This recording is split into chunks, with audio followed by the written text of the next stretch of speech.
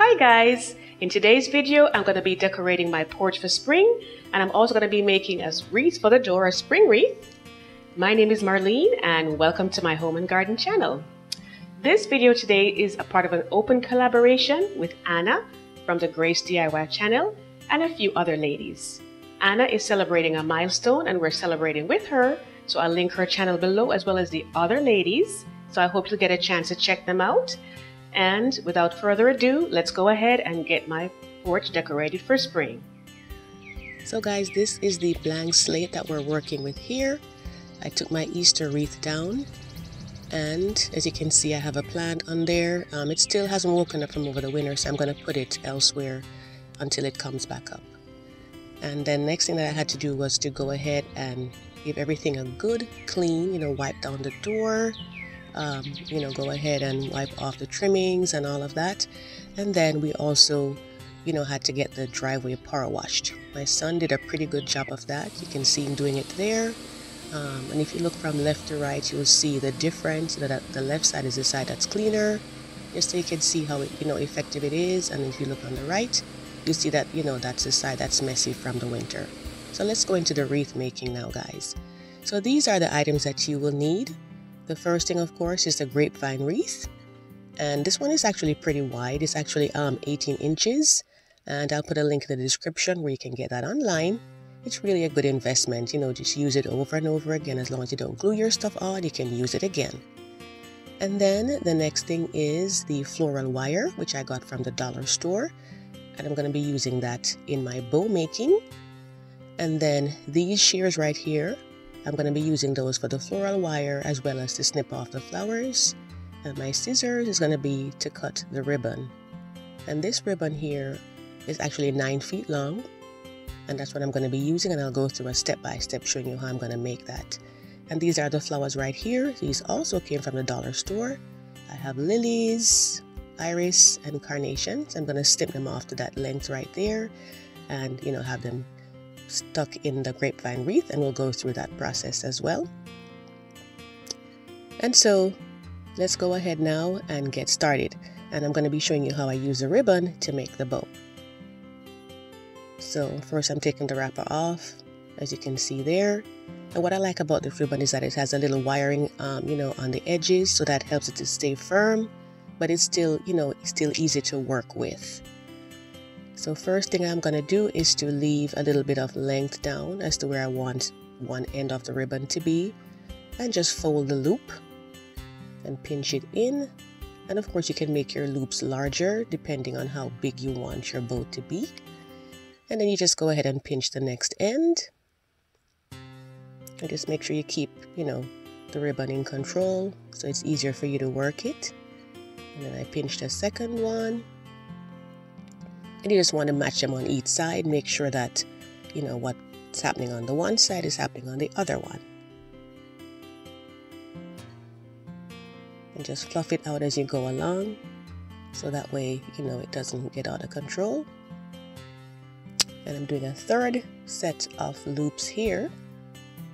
And that I think is sufficient for what I'm trying to do. Of course you can do less or more. It just depends on you know what you want your final bow to look like and then I'm gonna go ahead and um, cut the ribbon off. But before I do let me go ahead and get the floral wire and just wrap it around there. And some people they use tie wraps. It just depends on what you're more comfortable with.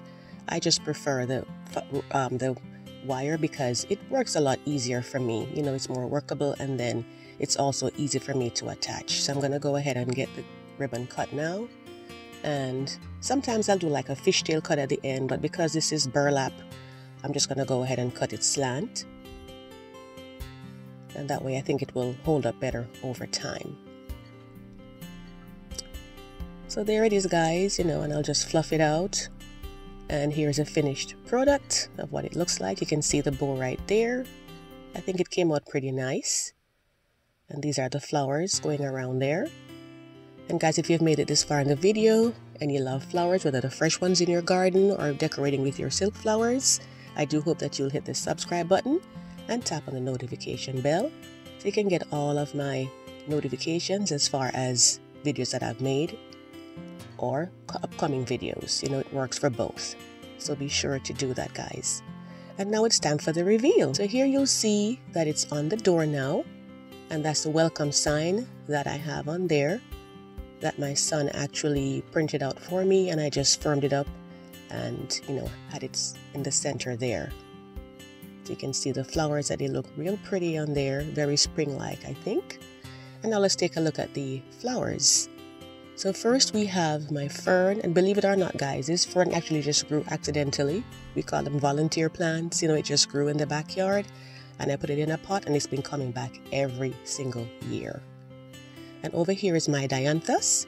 And this is what it's going to look like. You've probably seen this if you watch my last video to see it in full bloom here. So that's what it's going to become.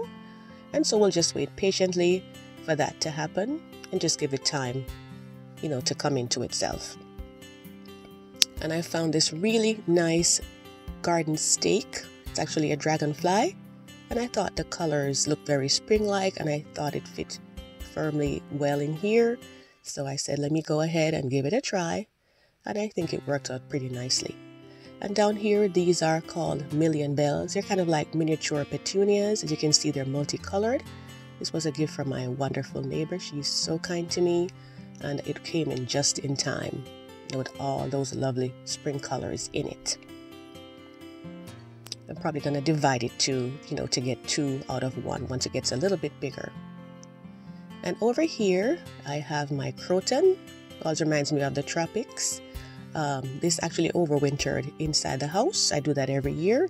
It's getting a little bit large for the container that it's in though. It's actually in a pot and I put it in this planter here. So I'm to do a future video that's showing you how you can repot your plants when they're getting too large for their containers. And over here is one of the petite roses.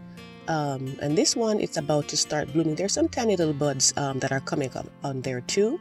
And these actually love sunshine. So once it hardens off a little bit I'm gonna go ahead and put it where it can get some more sunlight. So it can be at its best because as you know they say roses love sunshine. So I'm gonna have to get that done for sure. And then down here I got some of my dianthus from my flower bed and I put it in my watering can because I thought it looked so cute and then behind it I have some salvia there I'm gonna get those and put them in a vase and make a nice little arrangement um, for inside my kitchen. I'm to put it right over by the window. So, you know, you can always use your watering can and put different um, things in there. And so, guys, I really hope that this inspired you to get your front porch decorated for spring. I hope that, you know, you got some really good ideas here. I thank you so much for watching and to all my subscribers who keep coming back. Thank you so much. I truly appreciate it. I do hope that you will have a wonderful day, and I wish you a happy spring season.